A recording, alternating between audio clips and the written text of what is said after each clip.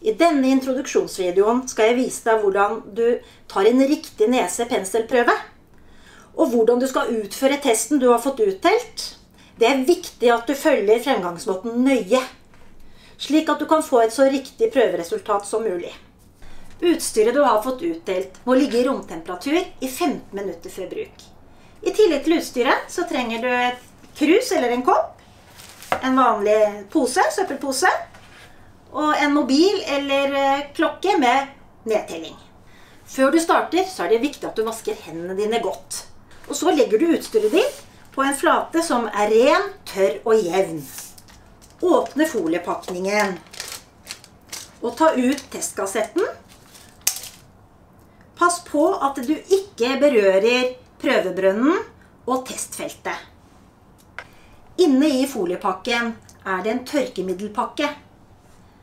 Kulen eller kulene i pakken skal være gule når du pakker ut testkassetten.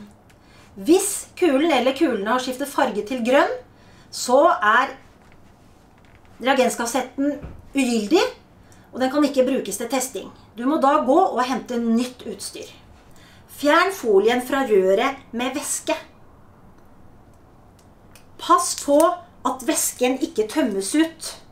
Det gjelder under hele analyseringen. Plasser røret i en kopp eller et krus, slik at det står stødig. Nå skal du åpne pakken med prøvetakingspenselen. Ikke rør bomullsdelen. Det er den delen som skal inn i begge nesebor. Du skal føre bomullsdelen av pinnen inn i nesen ca. 2 cm. Og så skal du skrubbe neseborene i, med ca. fire omdreininger i hvert nesebor på denne måten.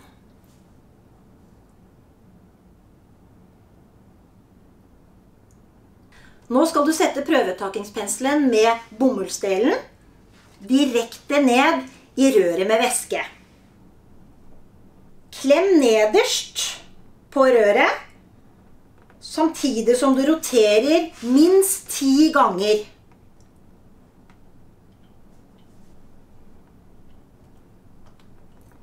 Nå skal du klemme og presse ut væsken fra bomullsdelen mens du drar penselen rolig opp. Væsken skal være i røret.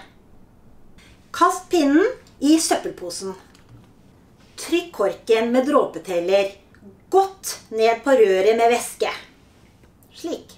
Snu røret og tilsett fire dråper fritthengende til reagenskassettens testbrønn, som er det runde feltet. Bruk klokke eller mobil med varsling og sett tiden til 15 minutter. I de 15 minuttene så må testkassetten ligge helt i ro. Nå har det gått 15 minutter, og vi skal lese av testen. Det er det firkantede feltet som er avlesningsfeltet. For at testen skal være gyldig, så skal det alltid være en rød strek i kontrollfeltet øverst. Hvis ikke det kontrollfeltet er rødfarvet, så er testen ugyldig. Her er testfeltet. Hvis det ikke er en rød strek her, så er testen negativ. Hvis det ikke har kommet noen streker, verken i kontrollfeltet eller i testfeltet, så er testen ugyldig. Hvis det kun har kommet en rød strek i testfeltet, så er også testen ugyldig, og du må ta en ny test. Her er det en strek i kontrollfeltet, C, og en strek i testfeltet for test. Og da er denne testen positiv.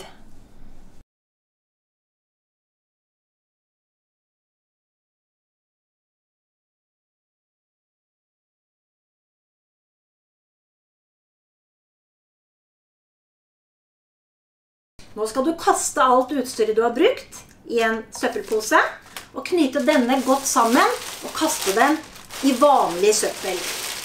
Deretter skal du vaske hendene dine godt og flaten du har brukt, veldig godt.